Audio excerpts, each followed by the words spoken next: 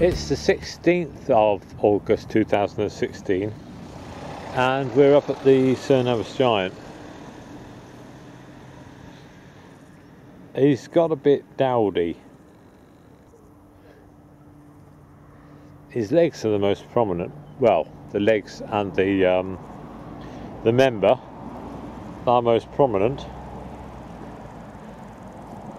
There's a tradition that if people having trouble getting uh, girls having trouble getting pregnant, they sit on the uh, on part of the giant. Um, I'm not quite sure of it in the early morning, perhaps. And a few years ago, they put a Bart Simpson by the side of him.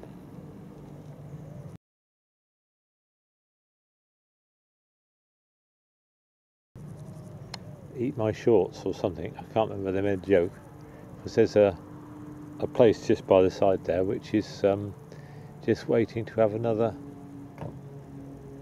thing put on it, another um, sculpture or whatever. That's a lovely hot day. Not too windy.